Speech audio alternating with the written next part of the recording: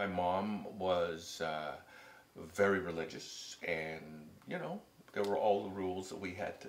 There, was there a with. church that we went to? Yes, uh, we went to. Um, oh gosh, the first one was the Brethren, which was I don't know, and then the next one was the Christian Missionary Alliance Church, where my mom uh, found a home there.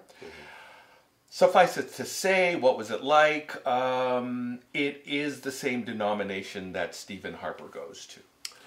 So, Okay, I was going to ask about that. Like, what denomination is that? What's so it, okay. it it's kind of fundamentalist. It was uh, missionary based. Mm-hmm. Um, it wasn't. It wasn't. Uh, you know, holy roller uh, Singing Pentecostal. no or- speaking in tongues. No speaking in tongues, none of that stuff. But you know, he still believed in full tank immersion. There was a tank behind the pulpit, and you know, everybody was supposed to duly go up and, and get baptized. I I avoided it, um, and I avoided uh, taking communion because every time communion was served, uh, the minister would say, He who eateth or drinketh unworthily shall be forever damned. So I figured if I didn't partake, I wasn't going to get damned, so that was my out.